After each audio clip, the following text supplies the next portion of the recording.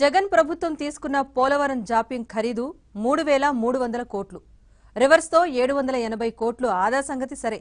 మిగిలిన రెండు వేల ఐదు వందల ఇరవై కోట్ల రూపాయల నష్టం మాటేంటో చెప్పాలని నిపుణులు ప్రశ్నిస్తున్నారు. తమకు కావాల్సిన వాళ్ళ కోసం నచ్చినట్టుగా నిబంధనలు మార్చేశారని ఇప్పుడు పోలవరం భద్రతకు పూచి ఎవరిదని ప్రశ్నలు సంధిస్తున్నారు.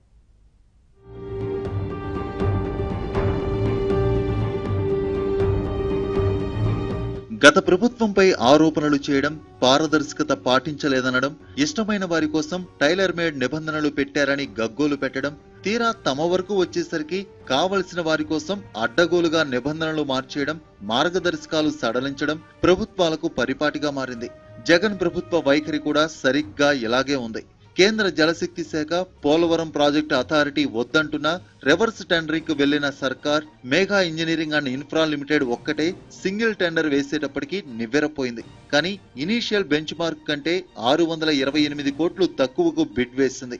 గతంలో నవయుగకు నాలుగు పాయింట్ ఎనిమిది శాతం ఎక్కువకు ఇచ్చారని దానిని కూడా కలిపి లెక్కిస్తే ఏడు వందల ఎనభై కోట్ల రూపాయలు ఆదా అయినట్లు జలవనరుల శాఖ చెబుతోంది.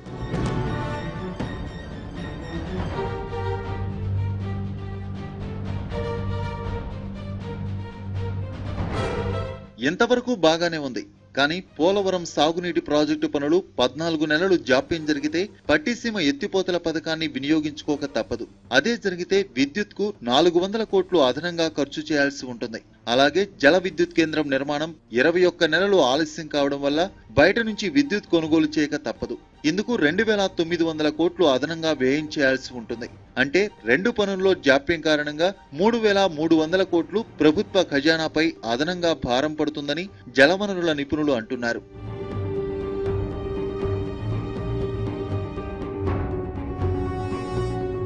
ప్రభుత్వం చెబుతున్న ఆదా ఏడు వందల ఎనభై కోట్లను తీసేస్తే ఇంకా రెండు వేల ఐదు వందల ఇరవై కోట్ల మేర భారం మోయాల్సి ఉంటుందని స్పష్టం చేస్తున్నారు. రివర్స్ టెండరింగ్లో తమ వారు నిలిచేందుకు జగన్ ప్రభుత్వం నిబంధనలు మార్గదర్శకాల్లో బోలెడు సడలింపులు ఇచ్చింది. ప్రాజెక్టు డ్యాం భద్రత విషయంలో కఠినంగా వ్యవహరించాల్సి ఉండగా అసలు ఆ ఆలోచనే చేయలేదని నిపుణులు ఆక్షేపిస్తున్నారు.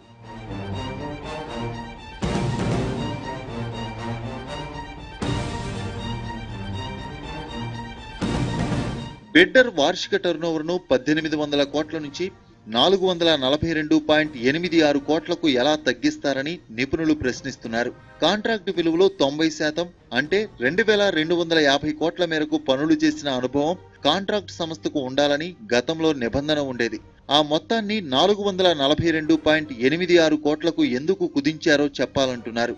కాంట్రాక్ట్ సంస్థ గత ఐదేళ్ళలో లాభాన్ని ఆర్జించి ఉండాలని గత ప్రభుత్వ టెండర్ నిబంధనల్లో ఉంది. ప్రస్తుత ప్రభుత్వం మూడేళ్ళకు కుదించడంలోని ఆంతర్యమేంటో చెప్పాలంటున్నారు.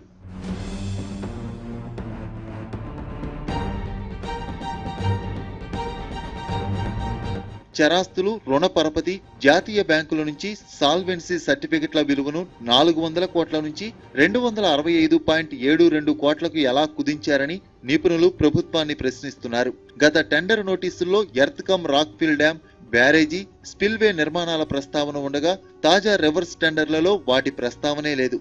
రివర్స్ టెండర్లలో కనీసం ఇద్దరు బిడ్డర్లైనా పాల్గొనాలని ప్రభుత్వమే జారీ చేసిన ఉత్తర్వులో పేర్కొంది. ఇప్పుడు మేఘా ఒక్కడే బిడ్ దాఖలు చేసింది.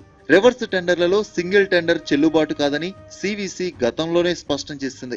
అయినా దీనిని రీటెండర్గా ఆమోదించాలని ఎందుకు చూస్తున్నారని నిపుణుల